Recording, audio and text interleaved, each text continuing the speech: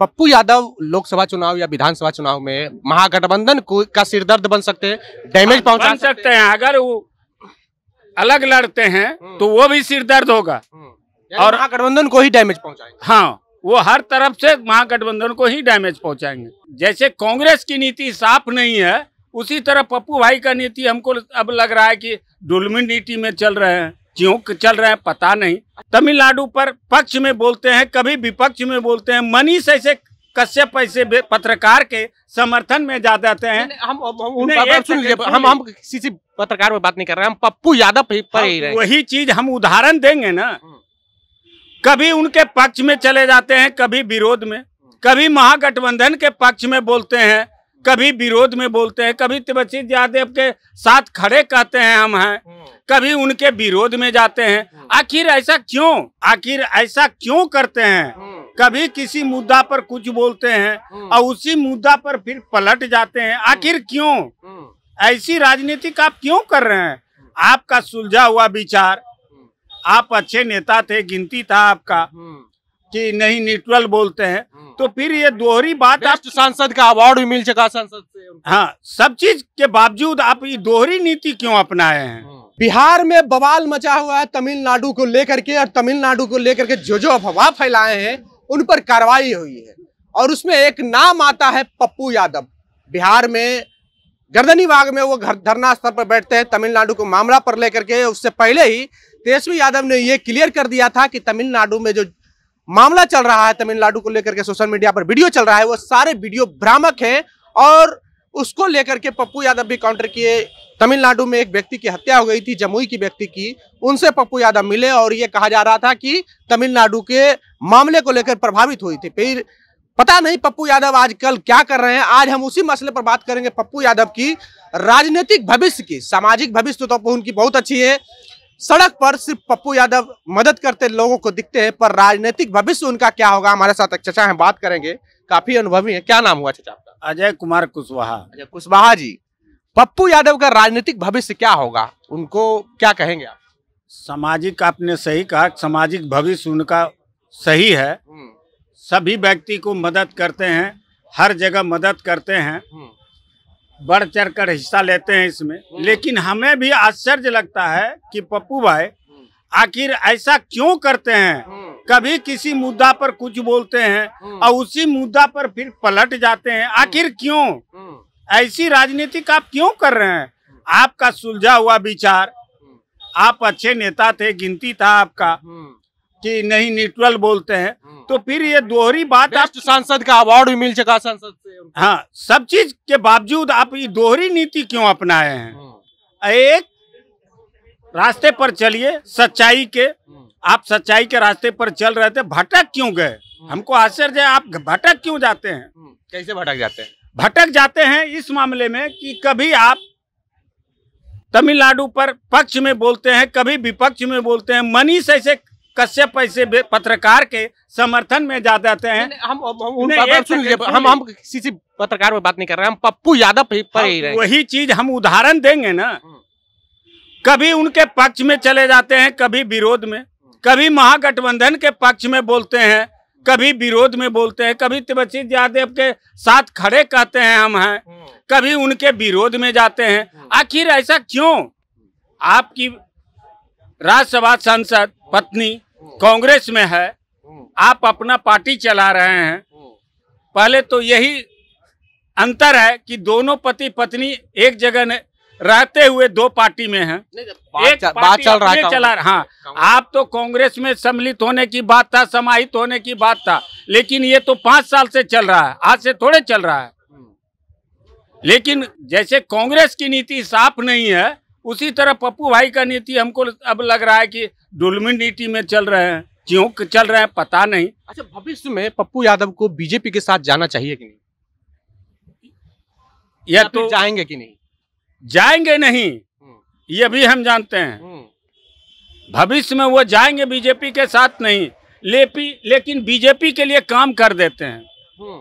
कैसे काम कर देते हैं? जाने अनजाने वो बीजेपी को मदद कर देते हैं चुनाव के समय। अपना उम्मीदवार उतार कर। सच्चाई यही है। चुनाव लड़ना तो लोकतंत्र में अधिकार है। कहा नहीं लड़ेंगे चुनाव? अधिकार है तो आप उसी ढंग से लड़िए ना। खुल कर लड़िए प्लॉट पर। उम्मीदवार खड़ा कर देने से नहीं होता है। उमा- उम्मीदवार के पीठ पर तैनात रहना होगा लड़ाई लड़ना होगा जो आप नहीं लड़ पाते हैं। सड़क पर तो वही रहते हैं रोड पर रहते हैं। आप हर जगह जहाँ समस्या होता है समस्या के लिए आप दौड़ जाते हैं। हम तो ये बात कहिए रहे हैं। लेकिन आप जो राजनीतिक स्तर पर नीति स्पष्ट नहीं करते। कभी कुछ कभी कुछ। ये बयान में अंतर क्यों? हम ये जानना चाहते हैं कि आपके बयान में अंतर क्यों होता है। अच्छा ये बताइए पप्पू यादव का राजनीतिक भविष्य कैसे बचेगा? किस पार्टी के साथ जाएँगे या किस गठबंधन के साथ जाएँगे तो उनका भविष्य बचेगा? या तो किसी गठबंधन में जाते हैं तो अति उत्तम है महागठबंधन है उनके लिए। वह कांग्रेस के साथ ही ज़्यादातर दिखते हैं। कांग्रेस के पक्ष में भले महागठबंधन के खिलाफ बोलते हैं लेकिन कांग्रेस के पक्ष में बोलते हैं। ये हम जानते हैं अच्छी तरह। तो अब उनके लिए है कि या तो कांग्रेस में मर्ज करें या अपना पर्सनल पार्टी चला रहे उसी को। भाजपा के साथ गठबंधन कर ले। गठबंधन ये कैसे कह देंगे? महागठबंधन में सात सात दल है इनको प्राथमिकता मिलेगा भाव मिलेगा? नहीं मिलेगा। तो भाजपा में भाजपा में आप गठबंधन कर लीजिएगा तो क्या मिल जाएगा? दो चार तो सीट मिल जाएगा। ये हो सकता महागठबंधन में एको को सीट नहीं मिलेगा। नहीं मिलेगा तो महागठबंधन पछताएगा। महागठबंधन जो व्यू से चल रहा है वो व्यू खत्म है। महागठबंधन में जितने नेता हैं इनके सलाहकार कौन है? कौन है? सलाहकार ऐसे ऐसे लोग हैं कि उल्टे सलाह देते हैं गलत। आपको वोट चाहिए पिछड़ा दलित आदिवासी का अल्पसंख्यक का। कहते हैं हम इसके हमदर्द हैं। अब लोकसभा राज्यसभा किसको भेजते हैं विधान परिषद में किसको भेजते हैं? अभी जो टिकट बंटवारा हुआ एमएलसी वाला कई गो दलित को दिए पिछड़ा अति पिछड़ा को दिए या पिछड़ा को दिए।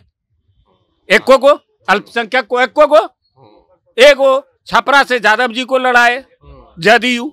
और कौन दिया? ये सब ढकोसलाबाजी छोड़ दीजिए कि हम पिछड़ों के हम दर्द हैं और दलितों के हम दर्द हैं अल्पसंख्यकों के हम दर्द हैं ये कहना बंद कीजिए। अच्छा ये बताइए पप्पू यादव लोकसभा चुनाव या विधानसभा चुनाव में महागठबंधन को सिरदर्द बन सकते हैं डैमेज पहुँचा बन सकते हैं। अगर वो अलग लड़ते हैं तो वो भी सिर दर्द होगा और और- महागठबंधन को ही डैमेज पहुंचाएँगे। हाँ। वो हर तरफ़ से महागठबंधन को ही डैमेज पहुंचाएँगे। भाजपा को डैमेज नहीं नहीं उसको जरा सा भी डैमेज नहीं है इनसे।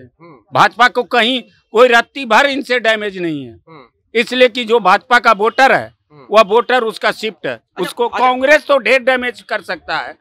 तो ये क्या डैमेज कर लेंगे? अच्छा ये बताइए। कांग्रेस का जो बपौती वोट था वो तो उसको डैमेज ही नहीं कर पा रहा है कांग्रेस को अति भाजपा को। तो ये कैसे डैमेज कर लेंगे? अच्छा ये बताइए पप्पू यादव अगर भाजपा के साथ जाते हैं तो भाजपा को फ़ायदा होगा कि नहीं? हमको तो नज़र में फ़ायदा हल्का सा है कुछ वोट जो इनका पिछड़ा दलित का है वो जाएँगे उनके साथ। जो पर्सनल है लेकिन जो वोट भाजपा का है वो वोट इनको आएगा कि नहीं ये कहना मुश्किल अच्छा यानी जो वोट भाजपा के वोटर हैं वो पप्पू यादव को वोट देंगे कि नहीं ये तो मुश्किल कहना मुश्किल है।